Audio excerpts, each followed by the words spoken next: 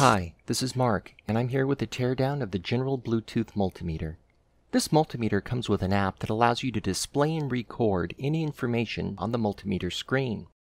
To begin the teardown, disconnect all probes, and on the back side, remove the Phillips head screw that holds the battery cover in place. Remove the battery and the rubber casing. Gently pry underneath it from all corners until you're able to release it, and that reveals four case screws, also Phillips, that must be removed. With those out of the way, you'll get your first look inside the multimeter.